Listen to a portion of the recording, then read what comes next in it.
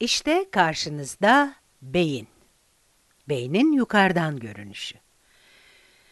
Gözleri de çizeyim ki önü neresi, arkası neresi belli olsun. Ön tarafı burası, arkası da burası. Dediğim gibi, beyne yukarıdan bakıyorsunuz şu an. İyi de niye bakıyoruz? Çünkü beynin serebral korteks adı verilen özel bir bölgesinden ve bu bölgenin duygular üzerindeki rolünden bahsedeceğiz. Serebral korteksi oluşturan kısımlar birçok farklı şekilde sınıflandırılabilir. Biz duygularla ilgili kısımlarını inceleyeceğiz. Beyni iki yarım küre olarak düşünebilirsiniz. Sol yarım küre ve sağ yarım küre. Beyni tam ortadan diklemesine ikiye böldüğümüzde bu iki yarım küreyi elde ediyoruz. Bu taraf sol, bu tarafta sağ yarım küre. Sol ve sağ yarım küreler arasında bir takım farklar var. Araştırmacılar, olumlu duyguların beynin sol tarafında sağ tarafta olduğundan daha çok elektriksel faaliyet yarattığını gözlemledi. Olumsuz duygularsa daha çok sağ yarım kürede gerçekleşiyordu. Bu sonuca nasıl ulaştıklarını merak ediyor olabilirsiniz. Bir araştırma sırasında katılımcıların bir televizyon ekranına bakmasını istediler. Bir televizyon çizeyim. Bu araştırma yıllar önce yapıldı.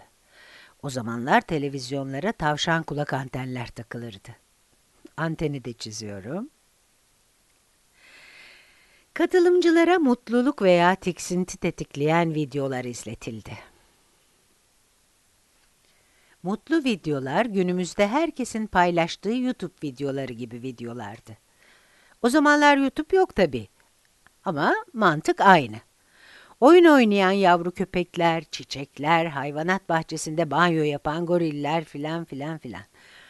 Bu sonuncusu insanları mutlu ediyor olabilir ama benim aklıma gelmezdi şahsen. Katılımcılara bir de tiksinti tetikleyen videolar izletildi. Bunlar şok edici videolardı. Üçüncü derece yanıklar veya ürkütücü bacak kesme görüntüleri gibi olumsuz şeylerdi. Katılımcılar bu görüntüleri izlerken araştırmacılar onların yüz ifadelerini videoya aldı. Ayrıca EEG cihazıyla beyin faaliyetlerini de kaydettiler. EEG, beyindeki elektriksel faaliyeti görüntülemeye yarayan bir cihaz. Sonuçta mutlu videoların beynin sol tarafını aktive ettiğini gözlemlediler. Çünkü bu güzel görüntüler olumlu duygular yaratıyordu. Tabii bu demek değil ki sağ yarım kürede hiçbir faaliyet yoktu. Ama sol taraftaki faaliyet daha fazlaydı. Tiksindirici görüntülerde ise tam tersi geçerliydi. EEG okumalarına göre bu videolarda sağ yarım kürenin faaliyeti artmıştı. Çünkü tiksindirici videolar korku ve tiksinme gibi olumsuz duyguları tetiklemişti. Beyin gibi çok karmaşık bir yapıyı basitçe ikiye ayırıp sağ ve sol yarım küreler olarak inceleyebiliyor olmamız çok ilginç öyle değil mi? Sol yarım küreyi olumlu, sağ yarım küreyi ise olumsuz duygularla ilişkilendirebiliyoruz. Tabii sağ ve sol yarım kürelerin görev ayrımı bundan ibaret değil. Mesela sosyal etkileşimlerde karşılaştığımız farklı durumlar ne kadar dışa dönük veya sosyal olduğumuza bağlı olarak beynimizin bir yarım küresini daha aktif hale getirebiliyor. Başka bir araştırmada araştırmacılar grup halinde oyun oynayan 4 yaşındaki çocukları inceledi. Buraya birkaç çocuk çizeyim. Araştırmacılar grup halinde etkileşim kuran çocukları gözlemledi. Mesela güzel bir oyuncağı paylaşan bu iki çocuğun yüz ifadelerini incelediler. Bu çocuklar gülümsüyordu. Belli ki çok güzel vakit geçiriyorlardı. Ama bazı çocuklar yalnız oynamayı tercih ediyordu. Mesela bu çocuk yapayalnız oturuyordu, kaşlarını çatmış öylece. Araştırmacılar farklı davranışlar sergileyen bu çocuklar üzerinde az önce bahsettiğimize benzer bir deney yaptı. Çocukların EEG kayıtlarını incelediler ve ilginç sonuçlara ulaştılar. Grup halinde oyun oynayan daha sosyal çocukların beyinlerinin sol yarım küresindeki faaliyet artmıştı. Buraya sosyal yazıyorum. Diğer yandan bu arkadaş gibi yalnız kalmayı tercih eden çocukların sağ yarımküre faaliyetlerinde bir artış gözlemlendi. Yalnız yazıyorum. Tabii konuya dair başka araştırmalar da yapıldı. Mesela bir araştırmaya göre beynin sol yarım küresi daha aktif olan insanlar daha ilgili, daha neşeli ve heyecanlı olma eğiliminde. Sağ yarım küresi daha aktif olanlarsa genellikle daha çekingen, ürkek, kaçıngan ve mutsuz oluyor. Böylece beyin yarım kürelerinin duygular üzerindeki rolüne şöyle bir göz atmış olduk. Serebral korteksi işlevsel bölümlere ayırarak da inceleyebiliriz. Şuradan birkaç şeyi silip kendimize bir yer açalım. Şekilde beynin farklı işlevlere özelleşmiş bölümleri farklı renklerle gösterilmiş. Ama biz prefrontal kortekse yoğunlaşacağız. Prefrontal korteks. Prefrontal korteks beynin ön tarafı. Alnınızın hemen arkasında kalan kısım. Dil veya bilgi işlem gibi yüksek seviyeli işlevlerden beynin bu bölümü sorumlu. Yani insanı insan yapan yer burası. Matematik problemlerini bunun sayesinde çözebiliyoruz. Felsefi meseleleri bu kısım sayesinde düşünebiliyoruz. Beyin faaliyetlerine serebral aktivite dendiğini duymuşsunuzdur. Bu terim adını serebral korteksten alıyor. İşte prefrontal korteks de serebral korteksin bir parçası. Dediğim gibi prefrontal korteks beynin insanı farklı kılan kısmı. İnsanlarda prefrontal korteks çok gelişmiştir. Bu gelişimin büyük kısmı doğumdan sonra gerçekleşir. Hani insan yaş ilerledikçe olgunlaşır derler ya, işte o misal.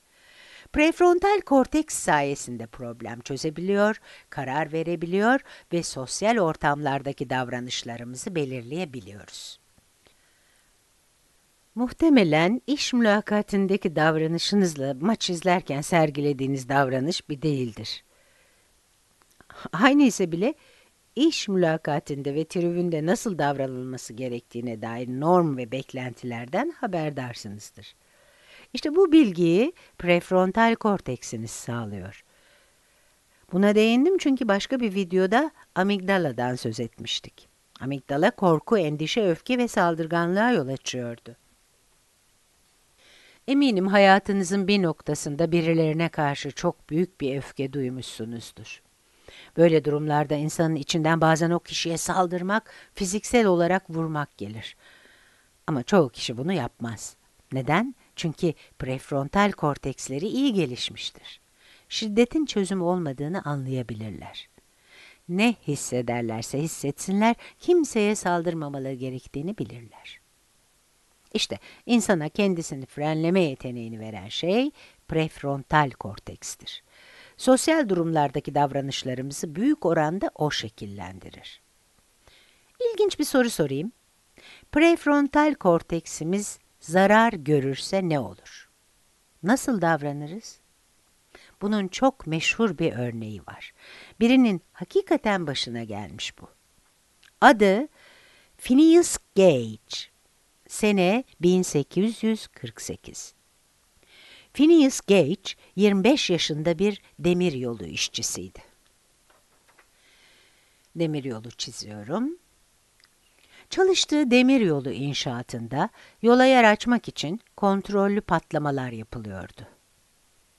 Ve Phineas Gage bu işlemleri denetlemekle sorumluydu. Patlamaları böyle izliyordu. Yine böyle bir patlama sırasında bir demir çubuk fırlayarak Gage'in kafasından içeri girdi. Kafasının bir tarafından girip diğer tarafından çıktı. Bu sırada Gage'in prefrontal korteksinin büyük bölümünü tahrip etti. Gage kazadan sonra bambaşka birine dönüştü.